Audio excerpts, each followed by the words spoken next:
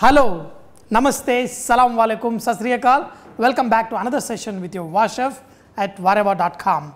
Today, I'm going to show you one of my favorite fish fry, the coastal, the Konkan style. In this, first we're going to take some of the masalas and grind it into a paste. Okay, here I've got red chilies, a little bit of cinnamon, cloves, cardamom, pepper, fennel, coriander seeds, and some onion. Okay, you can always pause the video and check again.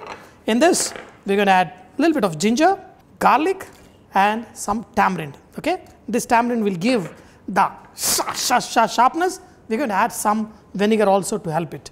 Okay, here is the vinegar, pinch of turmeric, and some sugar. Okay, a little bit of sugar, and make this into a fine paste. You know, a lot of people cut the fish many ways. A lot of them love to cut pomfret into dance, but I'm going to show you how, you know, usually sometimes I do. So what I'm going to do is, this is little bit, little bit tricky. So I'm just going to cut the fish into halves, literally half, okay. The first half is going to have the bones one side, okay. The second half will have it on the other side. So this is a little bit tricky, but you know, if you can cut it like this, you will get a very nice, awesome looking fish. Okay. So now we're going to take it to the other side and cut the fish again in the center. As simple as this, I've got two pieces of fish. Okay. Look at this. How awesome. Now take this fish, just do not cut it too much, just give it a little bit of gashes. Okay and okay as I told you do not cut it too much. If you cut it the fish will break okay? So just on the surface. So you have this awesome fish this side ready and the same thing on this side. Once again do not try to cut it to the bone because on one side half a side you will have the bone not on the other side. Look at this. So make sure the edges are intact. See all the edges are more or less are intact. Even if you make a mistake of cutting one of the edges, no problem. We are going to apply the marination and we are going to fry and it will come out pretty good. Now the paste is all ready. I am just going to add some salt. Just mix this well. Now this awesome, this awesome, super awesome paste, we are going to put it on the fish. Okay. Just you can just spread it with the spoon, make sure that this paste is nicely coated. Okay.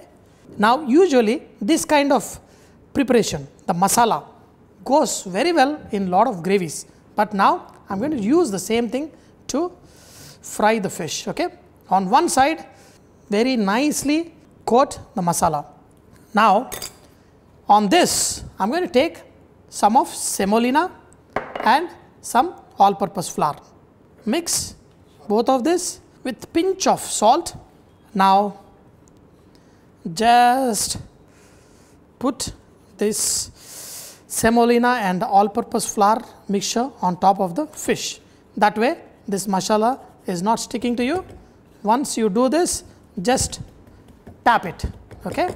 If you want you can add little extra and tap it. Now we are going to turn the fish onto other side. After you put it on the fish and coat it. Now, you are going to take this leftover masala and apply it on this side also and we are going to do the same thing.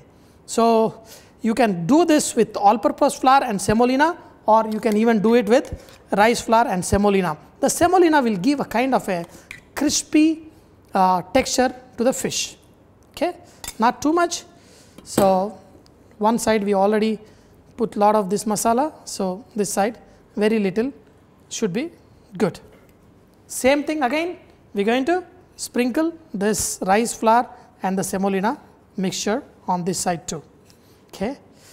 This is how you love it when you are going to eat this fish. Ha ha ha. As a snack, as a side accompaniment, this fish will taste just awesome. Now, with the help of a spoon, just take the fish out like this, look at it, just put it on the spoon so we don't burn yourself and very carefully drop the fish.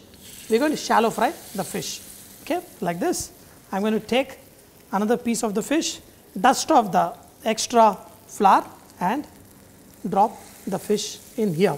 So, just make sure you do this on a non-stick pan and make sure that the fish sits comfortably in the pan you are frying. It is better you fry one piece at a time. Take help of two spoons. You know, usually in the hotel when we have a fillet with skin on, we put the skin on first. But, you know, for this, that's okay. You can break the rule a little bit and, you know, because of the tamarind and the sugar, it is going to caramelize and give you a little bit nice charred color, but the taste is going to be just awesome. Just, you know, fry till it is nice and golden and you will have this awesome fish ready. And look at this, you know, do not blacken it, but you can give it a nice golden color to this fish and it will taste just awesome. Dear friends, you know, with this uh, suji, it will have a very crispy, you know, sometimes I like the fish to be nice, soft and juicy, sometimes dry. But here, the only the outside is dry and crispy, but inside the fish will be very delicate and tasty. Look at this piece of fish. It is nice, crispy on the out, but nice and juicy inside. Ah, really hot. Mmm. Mmm. Wow. It's got awesome, awesome sourness, a little bit of sweetness and a taste that goes perfectly with the fish. Dear friends, you have to try this because this is something very, very special. Mm. Wow. Once you try this kind of fish, you will want this flavor again and again. Make it, enjoy it. But do not forget, Vahrehvah is all about inspiring others to cook. So please post your recipes and cooking tips at vahrehvah.com so others can benefit from your great cooking. Thank you.